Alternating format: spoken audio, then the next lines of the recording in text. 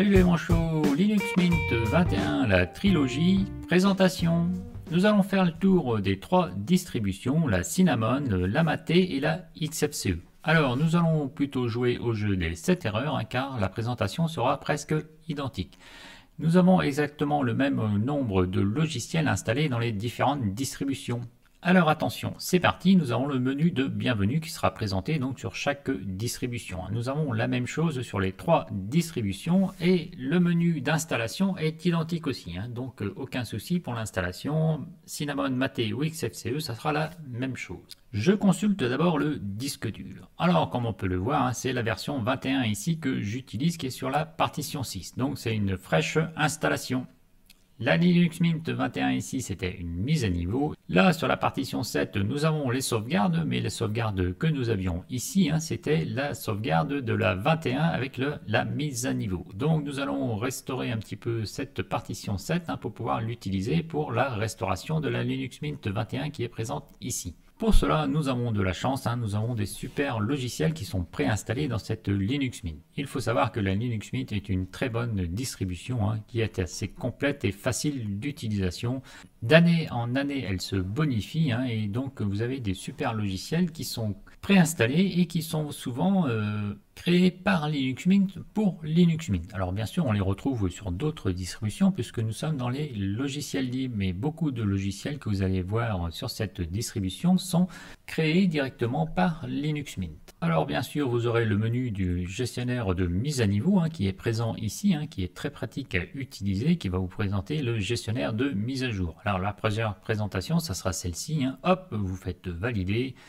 Et donc moi ce que je vous déconseille, hein, c'est d'utiliser un autre miroir. Utiliser le miroir principal, ça sera plus facile d'utilisation et il n'y aura jamais d'erreur sur les mises à jour. Souhaitez-vous utiliser un miroir de dépôt local, ben vous faites non. Alors si vous faites oui, bien sûr, vous aurez droit à un menu supplémentaire que vous allez pouvoir valider ici. Et ce qu'il vous propose ici, c'est de choisir d'autres serveurs. Alors le serveur principal, ben, c'est ça. Il est proposé ici et vous pouvez le changer. Donc là, le menu va se dérouler et vous allez avoir d'autres propositions de serveurs qui veulent être proposés. Là, ça va être le débit, donc vous avez un débit super rapide sur le crifos.org. Mais cela peut changer, bien sûr, c'est suivant le type de connexion et des serveurs disponibles. Mais de temps en temps, ces serveurs ne sont pas disponibles et les mises à jour ne sont plus réalisées. Donc ça, ça pose des problèmes de temps en temps. Mais il suffit de le savoir. Hein. Vous passez ici, vous repassez sur le serveur principal en restaurant les par défaut et tout va rouler correctement. Alors les PPA ici sur cette distribution, nous n'avons pas de PPA. Ce sont que des versions officielles que nous avons sur cette distribution qui sont bien sûr présentes dans les dépôts officiels. Donc pas de PPA, c'est une bonne nouvelle. Alors une nouvelle version du gestionnaire de mise à jour est disponible. Vous faites appliquer les mises à jour, hein, tout simplement. Il y aura des mises à jour qui vous seront proposées régulièrement. Hein. Ça, c'est une version qui est assez pratique à utiliser hein, avec ce petit bouclier qui est présent ici dans la barre de tâches en bas avec les mises à jour. Alors, comme d'habitude, hein, ici je peux cliquer non et vous faites installer les mises à jour. Là, vous validez tout simplement, rien de bien compliqué. Et le mot de passe, souvent quand il change de noyau, il va falloir valider le mot de passe. Alors, comme d'habitude, vous pouvez défiler ici le menu pour avoir les détails des mises à jour. Alors, je rappelle à tout le monde, hein, Cinnamon, Mate, XFCE, c'est les mêmes menus, vous allez avoir la même présentation au niveau des logiciels. Je ferai quelques intermèdes de vidéo avec le jeu des 7 erreurs, hein, mais en gros, c'est la même chose avec les trois distributions. Alors, faisons un petit tour du menu de premier pas. Alors, c'est le menu de bienvenue qui est présenté ici, hein, que vous allez retrouver dans le menu qui sera présenté ici dans les préférences. Hop, euh, et vous avez le menu qui sera présent ici avec écran d'accueil. Ça, c'est l'écran d'accueil, c'est l'écran de bienvenue que vous pouvez lancer donc différemment ou ne plus afficher au démarrage ici hein, si vous le décochez. Alors la mise à jour se poursuit en arrière-plan. Nous allons donc faire le tour des premiers pas. Alors le plus simple c'est de prendre le menu et le mettre sur la droite, comme vous allez le voir ici. Hop là, je vais vous présenter les menus, ça sera beaucoup plus simple comme ça. Je vais lancer le logiciel fichier qui se trouve ici. Hop. Et là, c'est pareil, hein, je vais l'envoyer sur la gauche, je peux l'envoyer tout en bas, regardez, c'est pratique d'utilisation, hein, ou le mettre en plein écran comme ceci, hop, hop, hop, euh, voilà, c'est très facile d'utilisation, c'est très très intuitif. Alors ici, vous avez la couleur du bureau que vous pouvez choisir assez rapidement, hein. hop, ça va changer les menus qui se trouvent ici, vous pouvez choisir votre couleur en fonction de vos goûts et couleurs. Alors ici, il faudra faire attention parce que la configuration du tableau de bord, le tableau de bord, c'est ce que vous avez tout en bas, que j'ai préconfiguré un petit peu. Le menu qui se trouve ici, hein, c'est OBS, je l'ai mis dans la barre de tâches. Et si je change de menu et je passe en traditionnel, hop, euh, voilà, le menu va disparaître hein, puisqu'il va reconfigurer ici la barre qui se trouve tout en bas. Donc il vaut mieux le faire au départ hein, à l'installation de votre distribution, la configuration. Je vais revenir sur le bureau qui est moderne. Là, pour l'instant, je suis en traditionnel. Si je développe le menu, là, c'est le menu traditionnel. Bon, il est assez bien foutu, hein, ça fonctionne impeccable. Là, vous avez les menus qui se déroulent juste en passant la souris par-dessus. Alors, le moderne, bah, c'est la même chose, hein, mais il est moderne. Il est un petit peu plus moderne. Bon, on va voir un petit peu la différence. Hein, c'est pas vraiment flagrant, mais vous avez le choix entre les versions modernes ou pas. Alors, le menu ici d'OBS Studio est revenu, hein, mais disons qu'il va disparaître si vous l'avez mis dans la barre de tâches en souvenir. Donc, choisissez bien votre tableau de bord dès le départ. Ensuite, il vous propose de faire des instantanés du système. Alors, c'est ce que je vous conseille vivement de faire, hein, de lancer cette procédure. Hop, vous pouvez la lancer et vous cliquez sur le mot de passe ici pour le valider. Mais avant de valider ce mot de passe, je vais faire quelques modifications grâce au logiciel qui se trouve ici. Donc je fais annuler et là je peux aller consulter mon disque de sauvegarde. Mon disque de sauvegarde se trouve ici et si vous vous souvenez bien, le timeshift qui est présent ici c'est le timeshift de la 20.3 avec la mise à niveau. Alors pour cela je n'en ai plus besoin de cette timeshift qui est présente ici, hein. je vais la supprimer comme l'installation de la 20.3 a bien fonctionné. Par contre, pour supprimer ce timeshift là, je vais avoir des petits soucis car je ne peux pas le supprimer. Vous voyez, il y a un cadenas sur ce timeshift. Si je fais supprimer, vous voyez, erreur lors de la suppression. Il est inutile d'essayer hein, puisque ce timeshift là est verrouillé. Alors, ce qu'il est possible de faire, hein, c'est qu'on revient un petit peu en arrière ici, on revient sur Michael, on revient sur sauvegarde. Sur le dossier sauvegarde, ici, je peux faire un clic droit et je peux ouvrir en tant que super utilisateur. Ça, c'est vraiment très pratique. Là, je suis en super utilisateur, c'est-à-dire je suis en mode route. Hop, je valide et là je vais avoir accès à mes dossiers. Je suis en privilégié ici et là le dossier timeshift, je peux le supprimer maintenant. Alors je vous conseille de le supprimer définitivement en appuyant sur la flèche du clavier qui se trouve sur la gauche et de faire sup. Voilà, êtes-vous dessus de vouloir supprimer définitivement? Alors je vais faire annuler, je vais regarder si j'ai une possibilité de faire...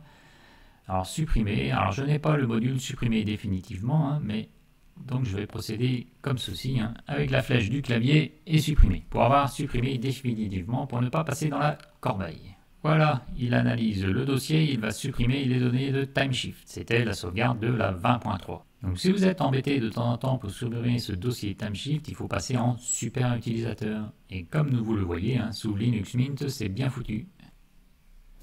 Et voilà, suppression des données a été réalisée. Hop, euh, ah, petite information supplémentaire, ici vous pouvez changer aussi pour passer en mode sombre, le mode sombre ou le mode clair, hein, vous pouvez choisir assez facilement ici avec le mode qui est présent instantané du système. Donc c'est ce que je vous propose de faire dès le départ. Hein. Je l'ai déjà fait dans la vidéo précédente, mais je vais vous montrer rapidement comment ça se passe. Hein. Vous faites suivant, vous êtes en AirSync puisque vous êtes en EXT4, il analyse le système, il va utiliser le disque dur que je vais lui présenter. Alors attention, on va voir qu'est-ce qu'il nous présente ici.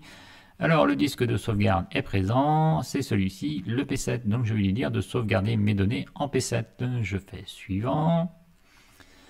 Ensuite, il me propose soit des sauvegardes automatiques, hein, vous pouvez cocher des sauvegardes automatiques, donc il fera des sauvegardes tous les 5, euh, jours par semaine, ou même avec une sauvegarde mensuelle, hein, vous validez ici, vous pouvez mettre une sauvegarde mensuelle et des sauvegardes quotidiennes. Et ensuite, vous faites suivant. Et là, bien sûr, il a une sauvegarde automatique, hein, c'est-à-dire qu'il va exclure certains dossiers, comme le dossier utilisateur, puisqu'on ne sauvegarde que le système ici. Je fais donc faire suivant, je ne modifie pas la configuration. Hein. C'est le plus simple d'utiliser ce logiciel Timeshift avec la configuration d'origine. Ensuite, dans les paramètres ici, vous pouvez reconfigurer votre utilisation. Vous avez l'emplacement que vous avez choisi, vous avez le planning, les utilisateurs, ça vous ne touchez pas, hein.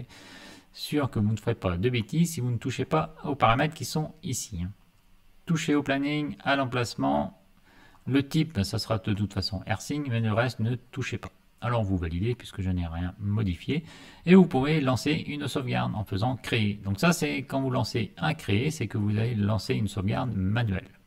Alors, si vous ne voulez pas de sauvegarde automatique, hein, mais il suffit d'aller dans les paramètres, vous allez dans le planning, vous décochez les options qui se trouvent ici, et vous n'aurez plus que des sauvegardes qui seront à faire manuellement. Hop là, c'est-à-dire que vous lancez ici vos sauvegardes manuellement, tout simplement. Mais je vous conseille vivement de lancer ce logiciel, hein. vous voyez c'est assez basique à installer et à mettre en route, hein, et vous n'aurez pas de soucis au niveau de vos sauvegardes. Ensuite, euh, ben, il suffit de continuer les premiers pas. Le gestionnaire de pilotes, eh ben, vous le lancez, hein. vous allez voir si vous avez des pilotes additionnels à installer sur votre système. Carte graphique, carte son, euh, carte Bluetooth, carte Wi-Fi, tout ça, ça sera répertorié ici avec le gestionnaire de pilote. Alors, pas de gestionnaire de pilote installé supplémentaire, donc là, c'est fait. Ensuite, on peut aller voir le gestionnaire de mise à jour. Donc, le gestionnaire de mise à jour, on l'a déjà lancé. Hein. Il a trouvé des micro-logiciels à installer, vous faites les mises à jour, ça il n'y a pas de souci, hein, vous maîtrisez ce système. Les mises à jour, faut les faire. Ensuite, vous avez les paramètres, donc ça, on va les découvrir ensemble, hein, paramètres, Logitech, pare-feu. Alors, pare-feu, je ne valide jamais le pare-feu. Alors, pour les premiers pas, hein, vous avez vu, c'est assez rapide à faire. donc là, la sauvegarde a été réalisée et j'ai un nouveau timeshift qui est présent maintenant ici. Alors, dans le menu de bienvenue, nous avons aussi la documentation hein, que vous pouvez lancer ici hein, directement. Hein. vous aurez des informations parce que l'intérêt de Linux Mint, c'est qu'elle est beaucoup utilisée, surtout en France. Et vous allez donc avoir une documentation. Vous c'est Frenchy ici. Hop, alors tout n'est pas traduit. de temps en temps, vous allez passer en bon anglais. Mais vous avez des informations qui sont assez intéressantes à lire ici sur les différentes distributions. Alors, je vous laisserai la lecture dessous ces paramètres qui sont présents ici. Mais pas de souci, vous avez des infos et vous pouvez donc vous instruire sur cette distribution Linux Mint hein, qui est très très bien faite. Alors vous avez ici aussi les nouvelles fonctions, mais là bon, ça, sera en anglais, hein, vous allez arriver sur le site, hein, il faudra juste passer par un logiciel pour vous pouvez traduire cette page avec Google Traduction bien sûr. Vous avez bien sûr les forums et vous pouvez aussi contribuer Faisons un petit tour rapide de cette distribution. Alors pas de gros changements, hein, mais beaucoup d'améliorations qui sont en tâche de fond, hein, qui sont sur les logiciels qui sont derrière. Mais en présentation, vous n'allez pas trouver de gros changements sur cette distribution. La calculatrice, si je fais un clic droit, je, je peux l'ajouter au panneau, l'ajouter au bureau ou l'ajouter aux favoris. Et je peux même désinstaller. Donc cette procédure-là est assez sympathique hein, pour pouvoir désinstaller certains logiciels directement avec ce menu qui se trouve ici. L'ajouter aux favoris, ben c'est très simple. Hein. Les favoris, c'est ce que vous avez sur la gauche. Hein. Maintenant, la calculatrice est présente ici. Si je veux l'ajouter ben, au panneau, le panneau, c'est ce que nous avons en bas. Donc, la calculatrice maintenant est rajoutée dans le panneau. Ensuite, dans les accessoires, nous avons la capture d'écran qui se fonctionne aussi avec la touche imprime écran qui est sur votre clavier. Hop, imprime écran. Donc, Capture d'écran, donc vous pouvez capturer l'écran, les fenêtres, les sélections, afficher un pointeur et vous avez une temporisation, donc c'est assez basique, mais c'est fonctionnel au niveau de la capture d'écran. Je vous montrerai des vidéos avec les différentes versions de Mate XFCE. Dans les accessoires, nous avons le logiciel disque hein, que j'ai déjà présenté et l'éditeur de texte. L'éditeur de texte ne va pas être le même avec les différentes versions. Hein. vous faites à propos et vous avez le nom du logiciel qui est Z. Donc quand je parle de sudo gdix pour ouvrir un traitement de texte, eh ben là il faudra là il faudra taper sudo z. Ensuite, dans les logiciels, nous avons Redshift, ça c'est pour la luminosité de l'écran qui fonctionne en fonction des horaires. Hein. En soirée, il changera de couleur avec le logiciel Redshift. Et nous avons un logiciel qui est présent sur les trois distributions qui s'appelle Warpinator. Warpinator est un logiciel pour partager des fichiers en réseau local. Hein. C'est pour que du local. Alors le réseau local, ça peut être avec votre smartphone hein, sous Linux et avec euh, votre logiciel Windows aussi. Hein, ça fonctionne sous Windows. Il y a eu des améliorations depuis le début avec euh, Warpinator. Et c'est un logiciel qui est développé spécifiquement pour Linux Mint et par Linux Mint. Alors bien sûr, on le retrouve sur d'autres systèmes, mais c'est développé par Linux Mint. Alors pour l'instant, je n'ai pas d'ordinateur d'allumé sur le réseau, donc c'est pour ça qu'il ne trouve pas d'autres ordinateurs. Hein. mais installez Warpinator sur vos autres ordinateurs et vous allez voir, vous allez pouvoir configurer facilement le partage de fichiers entre vos ordinateurs. Alors nous avons fait le tour du premier menu ici qui sont les accessoires et en bureautique nous avons comme d'habitude hein, du LibreOffice. LibreOffice Base, Calc, Draw, Impress. Alors si je fais un clic droit sur Impress, hein, je peux le désinstaller. Je peux désinstaller directement le logiciel si le logiciel Impress ne me plaît pas. Alors il vous présente le menu ici, hein. hop, vous faites valider tout simplement, il va désinstaller le logiciel. Alors il sera toujours présent hein, dans la liste, hein, mais il ne sera plus présent sur le disque dur. Ici il n'est plus présent dans la liste, mais si je fais LibreOffice, hop, euh, dans les menus qui sont présents ici, il risque de me le présenter. Présentation Impress, si je clique ici, bon ça ne va pas fonctionner, il n'est pas présent sur l'ordinateur. Dans les graphismes, pas beaucoup de logiciels. Hein. Sur les trois distributions, c'est identique. Hein. Pas beaucoup de logiciels. Vous n'aurez pas le logiciel GIMP, hein, mais il suffit tout simplement de l'installer. Et pour gérer vos images, les dessins, c'est avec ce logiciel-là que vous pouvez faire quelques modifications. Hop, il vous fait une présentation, mais la présentation ici est en anglais, donc ça ne va pas m'avancer à grand-chose. mais il faudra tester ce logiciel pour faire des modifications sur des images. Sinon, le logiciel qui est préinstallé, hein, c'est le logiciel Pix à tester, bien sûr, hein, pour voir si ce logiciel vous suffira. Sinon, vous pouvez installer d'autres logiciels. Hein, personnellement, j'utilise le logiciel Shotwell pour faire ma gestion des photos et pour les retouches photos, j'utilise plutôt le logiciel GIMP. Pour Internet, eh ben, c'est très simple, il n'y a pas grand chose. Vous avez le navigateur Firefox. Pour la messagerie, vous aurez le logiciel de Thunderbird qui est préinstallé et nous avons aussi un logiciel qui s'appelle Application Web qui est développé spécifiquement par euh, Linux Mint aussi. Hein. Vous avez beaucoup de logiciels qui sont développés par Linux Mint. Alors c'est très simple d'utilisation. Hein. Vous lancez votre navigateur Internet, vous allez sur votre site Internet préféré. Moi ça va être Libre à Quimperlé par exemple. Là, je récupère mon site libre à Quimperlé et nous allons aller voir un site qui nous intéresse. Hop, c'est le HTOP vide. Donc, j'ai refait la procédure du HTOP vide et je l'ai un petit peu simplifié hein, car je n'ai pas toujours le temps de faire des, test des distributions, donc je l'ai un petit peu modifié et là j'ai simplifié l'utilisation. Alors pour Linux Mint, Cinnamon, Mate et XFCE, j'ai fait des tests hein, au niveau de la consommation mémoire à vide. J'ai fait les tests de démarrage et j'ai fait le test du logiciel score superposition pour avoir un score au niveau de performance au niveau de l'affichage vidéo. Alors plus le score est élevé, hein, meilleur est le nombre d'images par seconde affichées par la distribution. Alors, si je prends l'exemple de Linux Mint version Cinnamon 21, on est à 950 mégaoctets de consommation mémoire à vide, donc presque 1 giga. Hein. on est sur une consommation assez élevée au niveau de la distribution. Alors, si vous êtes sous Linux Mint Mate, bon, pas grosse différence, hein. vous serez à 870 mégaoctets de consommation mémoire. Et XFCE, c'est presque identique. Hein. Vous avez à peu près la même consommation mémoire entre la Mate et la XFCE. Donc ce ne sont pas spécialement des distributions légères. Hein. Les distributions légères, on les retrouve ici, hein, Q4 Trinity, l'Ubuntu, qui sont plutôt à 0,65 ou 0,56 de consommation mémoire à vide, c'est-à-dire 560 mégaoctets de consommation mémoire. Application web, c'est très facile. Vous faites plus ajouter ici et vous allez avoir un nom à rajouter. Alors ici, je vais mettre Libre à Quimperlé. Je donne ici le nom de Libre à Quimperlé je choisis la catégorie Internet de façon à le retrouver dans les menus qui se trouvent ici. Catégorie Internet et vous le voyez, Libre à Quimperlé a été créé ici. Alors de temps en temps ça ne fonctionne pas très bien, il suffira de redémarrer l'ordinateur et vous allez retrouver le lien qui sera créé ici. Je clique sur le lien et que ça me donne un accès direct à mon site Libre à Quimperlé. Et voilà, alors, comme nous avons pu le constater, tout n'est pas passé en français. Eh bien, vous avez un petit menu qui apparaît généralement au bout d'un certain temps ici.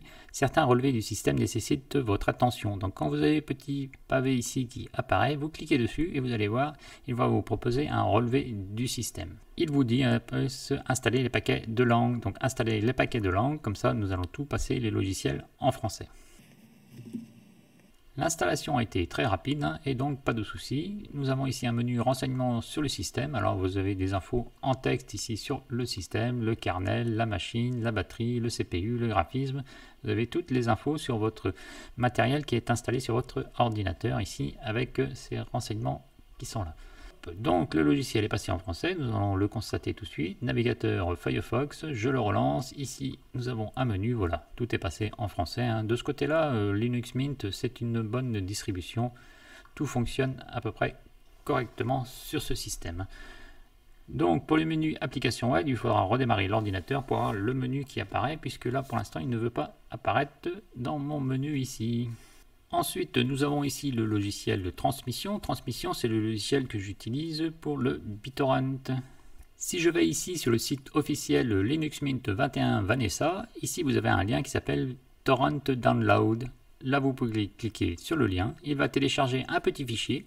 Ce petit fichier, vous pouvez cliquer ici pour l'ouvrir et il va lancer automatiquement le logiciel transmission. Ici, vous acceptez le partage hein, pour partager les données et vous allez pouvoir télécharger Linux Mint avec le logiciel BitTorrent. L'avantage, c'est que le fichier sera téléchargé et partagé en même temps.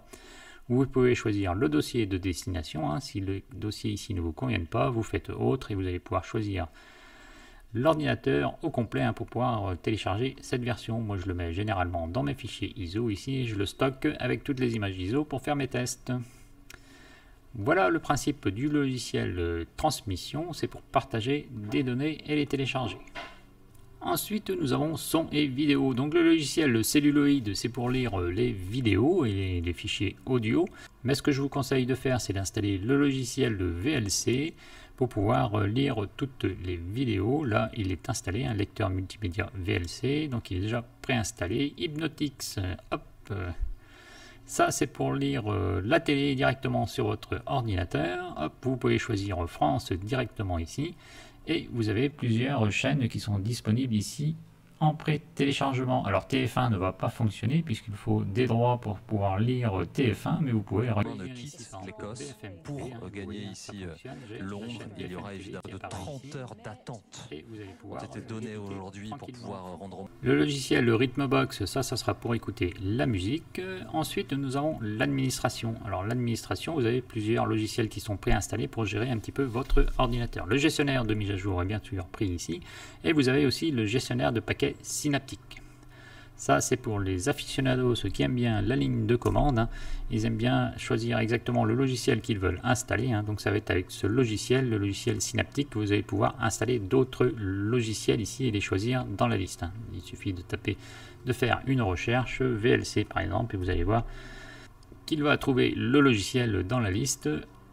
Ici, vous avez le logiciel, comme vous le voyez ici, lecteur multimédia et de flux mais ce n'est pas le logiciel que je privilégie hein, pour installer des logiciels. J'utilise plutôt la Logitech. Le menu de la Logitech est disponible directement ici hein, dans les favoris. Là, vous avez la Logitech, mais ce que vous avez de disponible, hein, si je prends par exemple Caden Live, nous allons voir euh, si nous avons plusieurs logiciels de disponibles. Non, nous n'avons qu'un seul logiciel de disponible ici, c'est la version de Caden Live. Là, nous avons le Caden Live en version .deb et la version 21.12.3. Pour l'instant, je n'ai pas vu de version Flatpak euh, dans la distribution ici. Hein. donc, euh, dans la version Cinnamon, vous n'aurez pas de Flatpak. Alors, vous n'aurez pas les snaps non plus. Hein. dans la version de Linux Mint, vous n'aurez pas de snap, que ce soit en Mate ou en XFCE, pas de snap avec Linux Mint. Il faudra faire une installation manuelle si vous voulez avoir des snaps avec Linux Mint. Mais vous avez tous les logiciels de disponibles, hein, il n'y a aucun souci. Euh, vous pouvez installer GIMP, Calibre, tous les logiciels sont disponibles dans cette Logitech, mais pas de Snap, pas de Flatpak non plus. Il faudra installer l'extension si vous voulez avoir des Flatpak avec euh, cette Logitech. Dans l'administration, vous avez aussi le moniteur système qui est intéressant à regarder. Hein. Là, vous avez le moniteur système qui est présent et vous avez ici aussi, bien sûr, les ressources. Ça, c'est la consommation des processeurs. Ici, vous avez mémoire utilisée et la consommation au réseau, bien sûr. Alors, bien sûr, les outils de sauvegarde sont présents ici. Les relevés du système, c'est ce que nous avons vu ici. Hein. le petit menu qui était présent avec le petit carré ici, c'était les relevés du système qui vous permet de faire un test de temps en temps et de voir s'il y a des petits soucis sur votre ordinateur. Vous aurez les infos ici. Aucun problème n'a été détecté. Donc ça, c'est un menu assez sympathique à utiliser. Elle est bien faite, cette distribution. Elle est simple et pratique d'utilisation. Ensuite, vous avez bien sûr le menu des préférences. Alors, le menu de préférences, c'est par ici qu'il faudra accéder. Hein, c'est beaucoup plus pratique. Et là, vous avez toutes les informations pour configurer votre ordinateur. Les effets, si vous voulez avoir des effets ou pas sur votre ordinateur. Si vous avez une bonne carte graphique, vous pouvez activer les effets. Et si vous voulez soulager un petit peu le système, vous désactivez les effets ici. Et votre ordinateur devrait se ressentir avec euh, un temps de réaction beaucoup plus rapide. Mais ça, ça vous de tester hein, pour voir si ça peut vous convenir.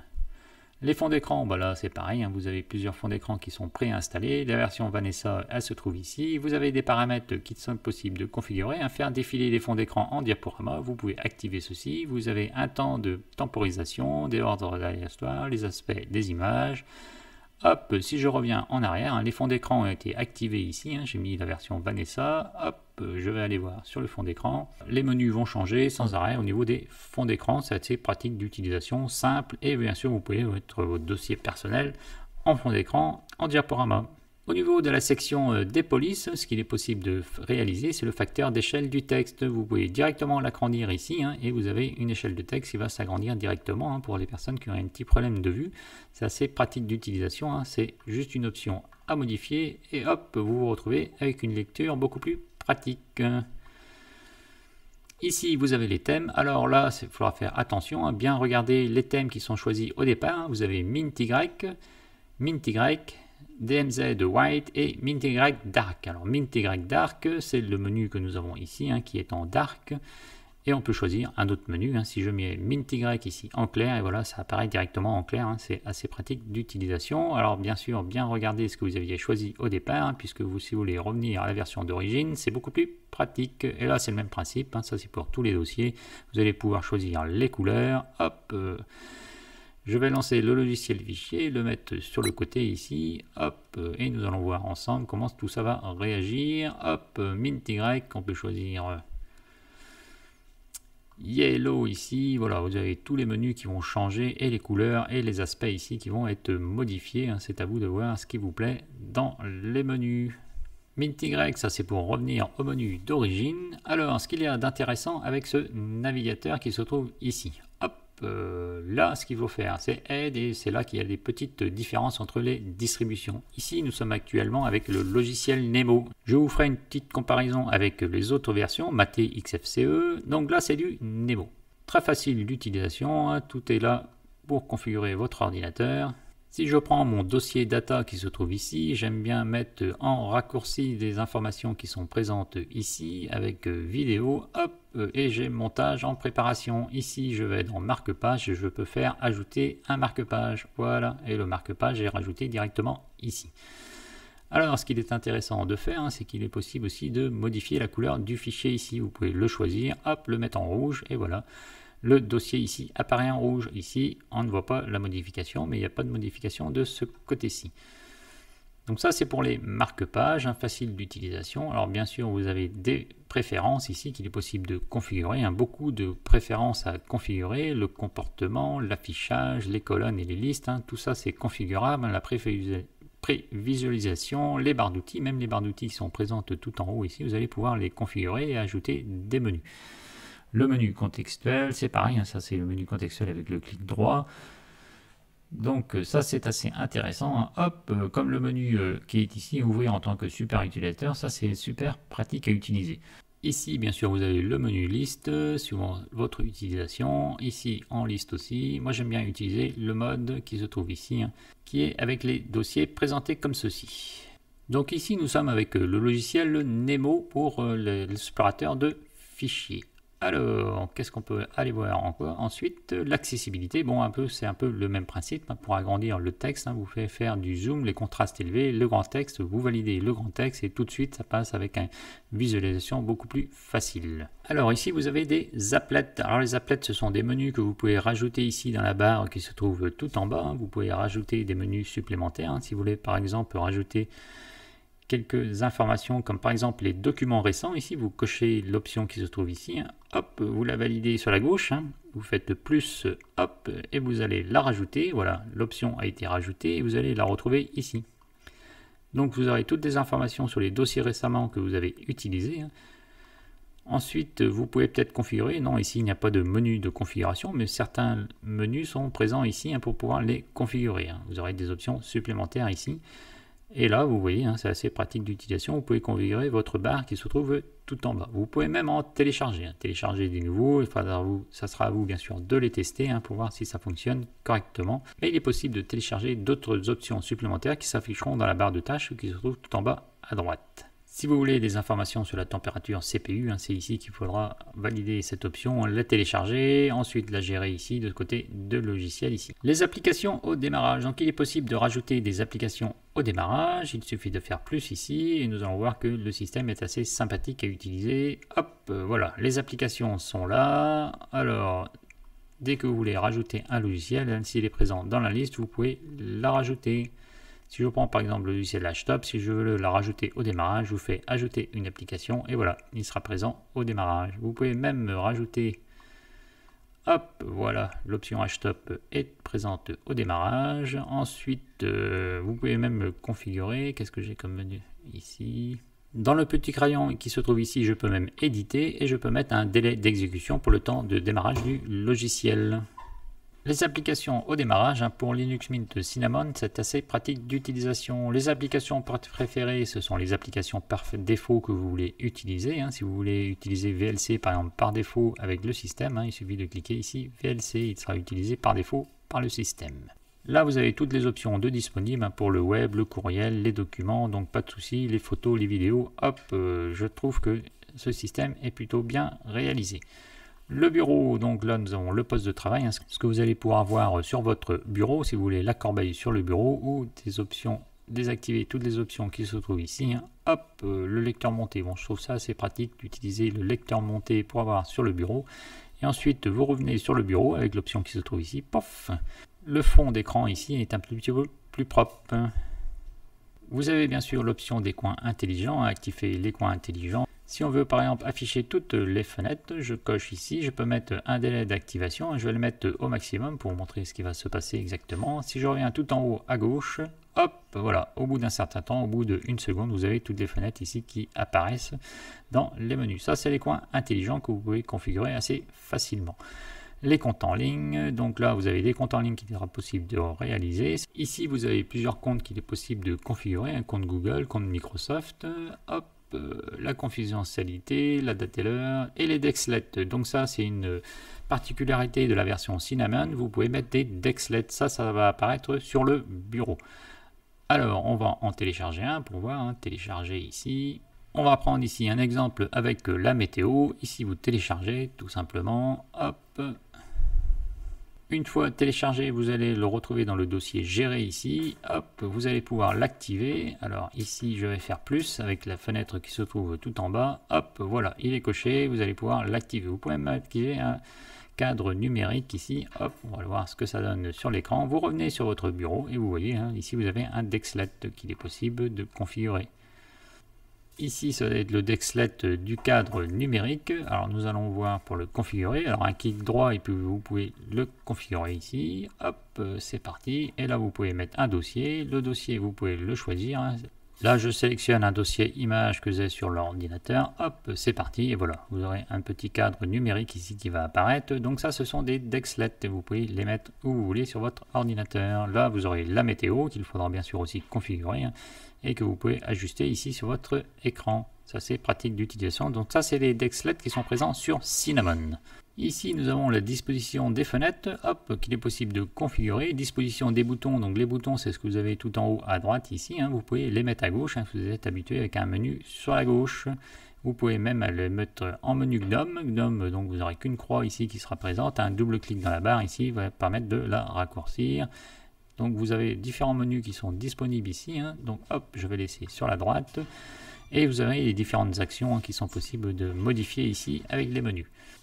Le comportement et le Alt Tab ici aussi qu'il est possible de configurer.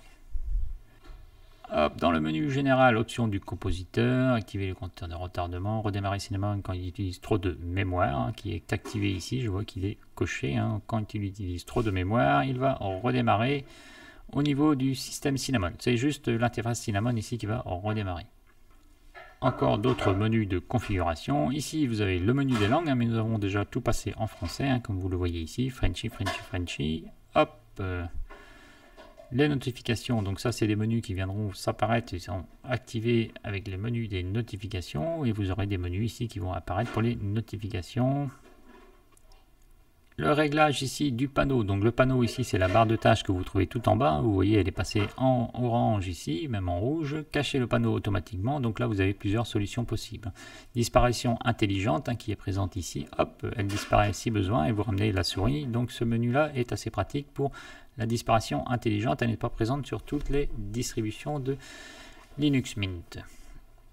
Je peux donc gérer la hauteur du panneau ici et je peux modifier aussi les zones, zone de gauche, zone centrale et zone de droite. La zone de droite c'est celle qui se trouve ici. Hein. Si vous trouvez que les menus qui sont affichés ici sont un petit peu petits, il est possible de les agrandir. Hop, là je vais choisir une autre taille de pixels en 32 ou en 48 ici. Hein. vous voyez, les menus vont apparaître un petit peu plus grands. Alors, vous avez la taille des icônes symboliques. Ici, ce sera les autres menus qui vont apparaître, qui vont agrandir ici. Voilà, vous avez deux différentes options qu'il est possible de réaliser avec les menus qui sont ici. À vous de faire les tests et de voir ce qui vous convient.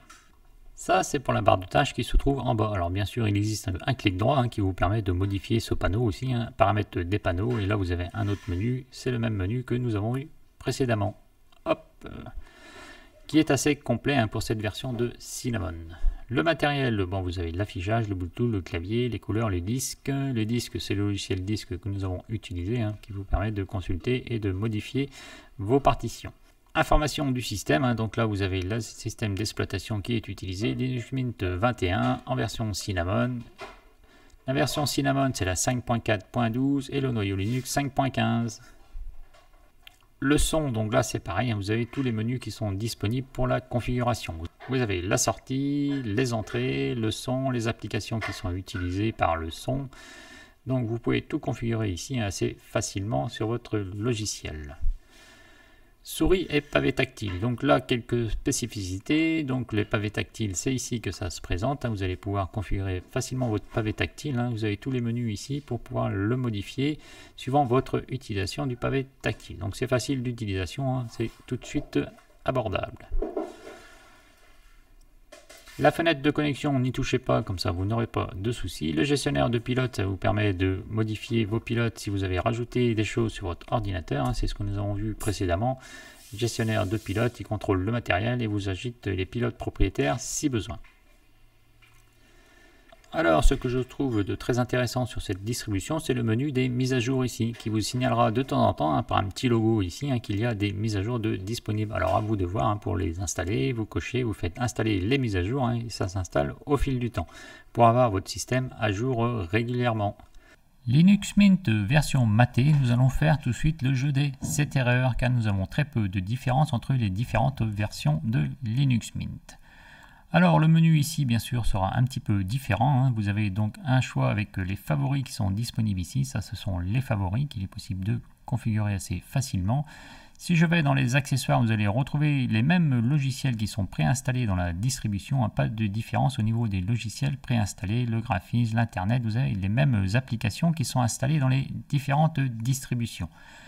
Donc nous allons juste faire le tour des différences. Si je vais dans calculatrice, un petit clic droit, vous pouvez l'ajouter au bureau ou au tableau de bord. Ça, c'est les options qui sont disponibles. Vous pouvez même faire désinstaller le logiciel. L'option est disponible ici. Donc voilà pour les petites différences au niveau des menus. Hein. Pas de gros changements. Si je passe ensuite à la capture d'écran, et eh ben là nous avons un menu un petit peu différent pour la capture d'écran. Vous allez retrouver les mêmes options, hein. configuration du bureau, actuel, capturer, une tempo ici pour prendre la capture. C'est toujours bien réalisé, hein, cette version de Linux Mint version maté.